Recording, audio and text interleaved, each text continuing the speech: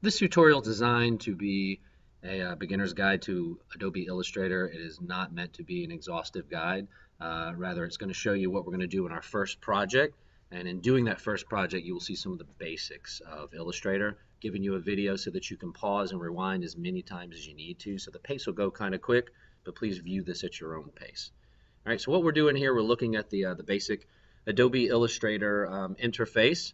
Like every other application, you hit Control N or File New to bring up uh, your document box. We'll go over what all of this means um, right now because um, you can actually uh, click some drop downs if you're making something for print, something uh, for web and different things. You can go ahead and make a, a selection based off of uh, what your output is going to be and uh, where you would like to publish this. For now, we're going to take all the default settings as long as we're at 8 by 11. The reason why we're at 8 by 11 is because we may print a few of these things out, and that's the size of a piece of paper.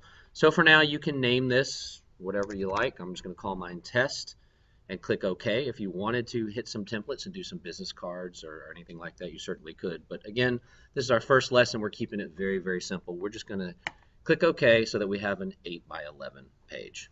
All right, so that is our first step. So what we're going to do is learn a little bit about the pen tool and some of the windows here. So if you go up to window, and it's like this in Photoshop as well, um, if you look at everything here, anything that has a check mark by it, that is what is open right now. So if you don't see something that you need on your desktop, go to window and see if it's checked. So uh, let's say your tools disappeared. You look like that. You say, hey, where the heck did my tools go? We'll go up to window, make sure that tools is checked, and if you notice, they come back here on the left.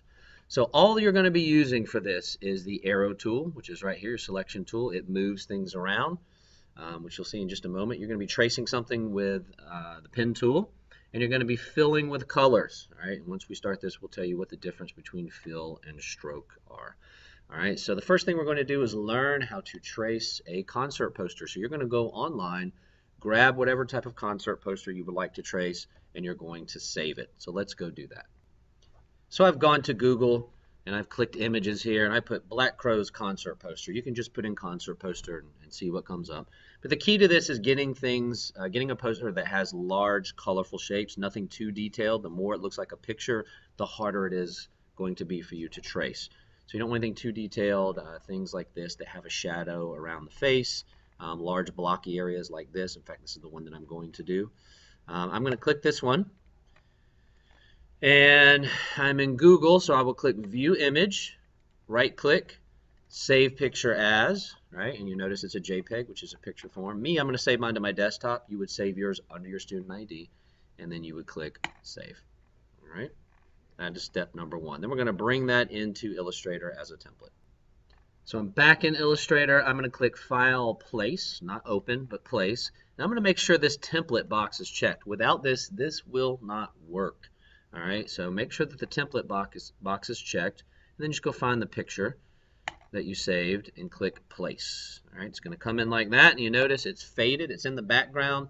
If I hit this black arrow, I can't select it. I can't move it around because it's just there as a template so that you can simply trace what's there. So whatever's in black, I'm about to trace. If you want to get closer, there's a magnifying glass right here at the bottom. If you click it, it goes in.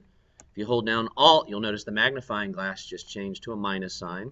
So it zooms out. Let go, it turns to a plus sign. Hit Alt, turns to a minus sign. So I'm going to get pretty close so I can trace this. And I'm going to go get the pen tool.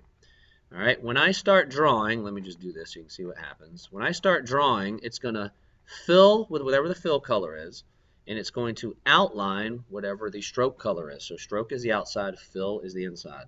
All right, now if I don't want a stroke in there, I can click this where it says none, and it gives me no stroke. There's just a fill in there now. Or if I want to change the color, I can double click. I can pick any color that I want and click OK. Now, if the shape that you're drawing is not selected, obviously it doesn't know what to color. So if you're like that, it's not going to do anything. You need to actually click the selection tool, select something, and then you can manipulate it. You can make it bigger. You can make it smaller. You can go to the edge and you can rotate it. All right, so Illustrator is all about just drawing shapes and putting shapes on top of each other and filling them with colors. Easy enough? Let's move on. All right, so I'm going to get rid of this guy by clicking delete. I'm going to get my pen tool and I'm just going to start clicking around the toe area and I'm going to click and drag. All right, if you notice, this is going to start filling with color. And eventually, I'm not going to be able to see what I'm doing because the inside is going to be filled with red. So to get rid of that, if you brought this in as a template, you can go up to view and you can change to outline view. If you notice, it just shows the outlines of what I'm drawing. When you want to see the output of what you've done, you go back to preview and it shows you the color. All right. So uh, view outline is just the outlines. That's kind of what you want to draw in. So this is the hardest part about Illustrator, learning how this stinking pen tool works. But you need to know how it works for uh, Photoshop when you make selections. Um, in Illustrator, you can actually trace these, and it's much easier, and then ungroup objects and manipulate them. Since we really, really need to know the pen tool, we're going to start with a pen tool project. All right, and we are going to go over in class what these handles mean so you can get these exact. But for now, since it's our first lesson, we're just going to briefly trace something. And what I'm doing, I'm clicking, I'm dragging in the direction that I want to go, and then I'm letting go. A lot of students don't let go, they just keep dragging it, and it goes crazy.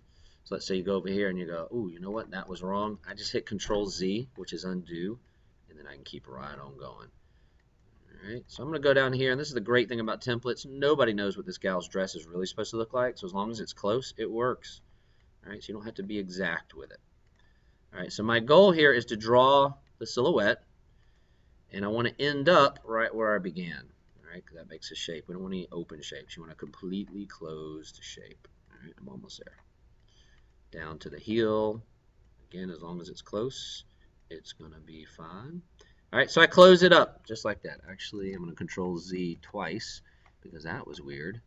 I messed up on the toe. All right, whoop, my bad. Click the last uh, last point that I did, which is right there, continue on. Man, I just can't seem to get that toe. There we go. All right, so let's see what happened. I'm going to go up to uh, View and click Preview. Make it where you can see it. That's what I just drew. So if I grab this arrow and pull it away, most of our picture's already done. Look at that. So if I wanted it to look like her, I would click it and I would go choose black. You can pick any color you want. All right, but for mine, it's black. And I say, you know what, that looks pretty darn good. So then I would go up to View, Outline, and I would do the next section. All right, so let's say we're doing her face. If you notice, her face has black and white. So I'm not going to do all of it. I'm going to do enough so you can see what the heck I'm talking about all the way around here. We're not going to do the crazy hair. We'll just stop right about there for this demonstration. Okay. We'll go to, actually let's go ahead and draw the eyes as well. So you can see the difference. Alright, so the eyes. Instead of filling with black, because black on black you're not going to be able to see it, I'm going to fill it with white and I'm going to go to preview. That's what I've got so far. So notice, I'm going to pull it halfway off so you can see. The white is on top of black. If I click black and I right click, I can go to arrange, bring to front, and now the black is on front. If I click something, right click, go to arrange, send to back, now the black is in the back. So all you're doing is drawing shapes. That's an eye. I'll draw another eye here. I'll draw the mouth. This bird has an eye. There's a pearl necklace. So all you're doing in this exercise is drawing a bunch of shapes, coloring them, and then you right click and arrange them and just drop them on top of each other to create a picture.